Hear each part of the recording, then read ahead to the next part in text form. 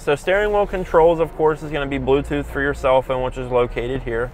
Um, radio up and down is going to be located right here. Preset stations, of course, is going to be located here. Cruise control on this side of the steering wheel, heated steering wheel, as well as the gap adjust for your forward collision alert. So you can have three, two, and one car lengths. Recommended is three for the safest distance in front of you. Um, also to mention the liquid crystal display down here too. Um, so what this is gonna show is speed at the top, of course. Below that is gonna be your distance, your average miles per gallon, fuel range, oil life, tire pressure monitoring system, fuel economy trend, um, average speed, time, following distance, so that's how many seconds you are away from the car in front of you, whether it be 3.2 or 1.4.